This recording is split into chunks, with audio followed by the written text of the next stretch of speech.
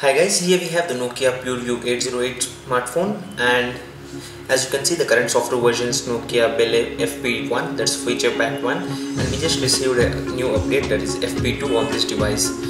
As you can see there is no SIM card into this phone but the Wi-Fi is still connected.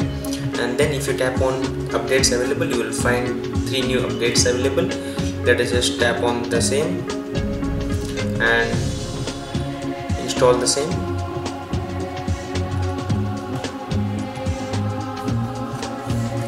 this would actually download the current updates available and then check for new updates and then install the feature pack 2 onto this device. So let us just proceed with the downloads and installation of the same.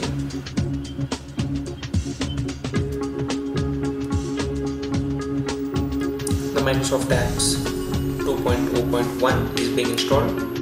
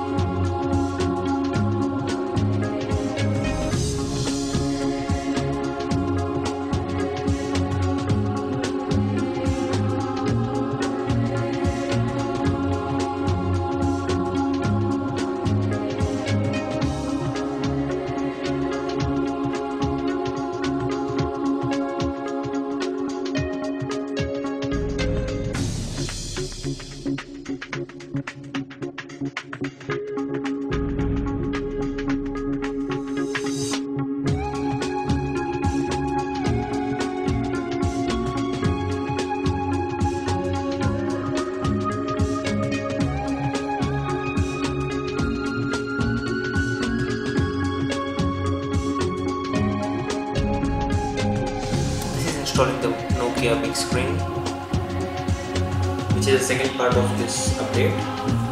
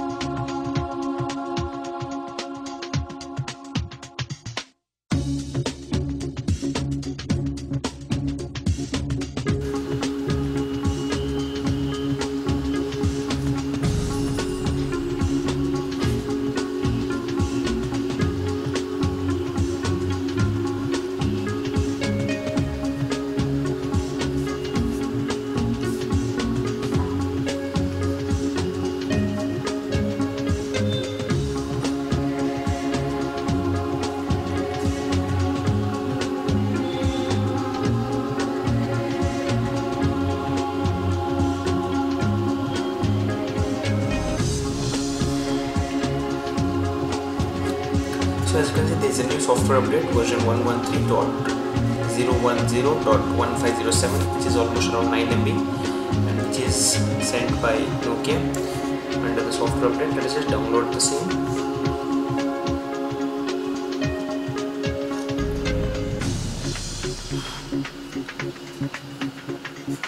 Just install the same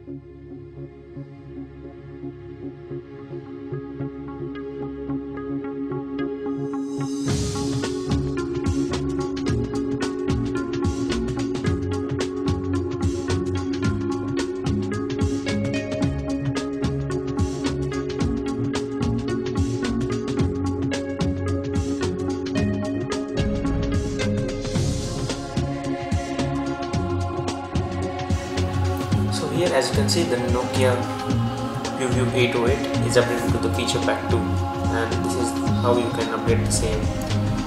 So do make a note that this can actually take a while somewhere around 15 to 20 minutes for the whole process to complete. And overall you would find that the device performance has increased and some new options have come up. So we will be discussing about the same in the next series of our videos Thanks for watching. Do subscribe to our channel for more related videos.